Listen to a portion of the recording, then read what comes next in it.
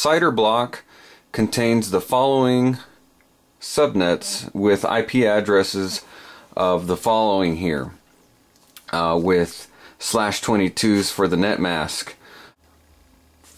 The First thing we're going to want to do is uh, convert this slash 22 into a binary value. If you remember, the slash 22 represents the number of mask bits from left to right.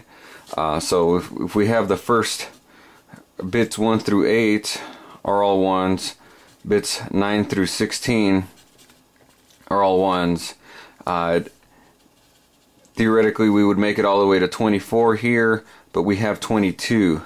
Uh, so we're going to write uh, 17, 18, 19, 20, 21, 22 uh, 23 and 24 make the rest of the bits here and um, looks like we have a zero here so we're really concerned with this uh, subnet mask here and we're going to apply that to the third octet here on that address here. So what I've done here written out some four tables here for us to represent each address 68 69 70 and 71 and we'll apply the mask to each one uh, and and this question is just it's the same thing that we've done before. All we're doing is seeing are all these addresses within the same subnet? If they're in a different subnet then then uh, the boundary has been crossed.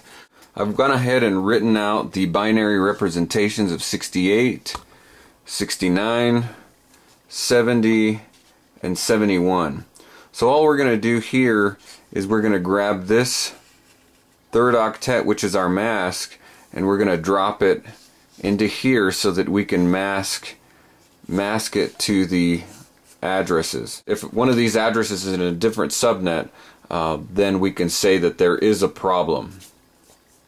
So I'll go ahead and write those in here. I've gone ahead and written uh, the subnet mask of the third octet into here and we're going to go ahead and mask it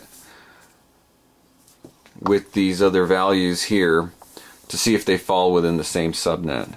So if we perform the AND function, we have 0, 0, 1, 0, 0, 0, 1, 0. Convert that to decimal, it looks like we it falls under the 68 subnet.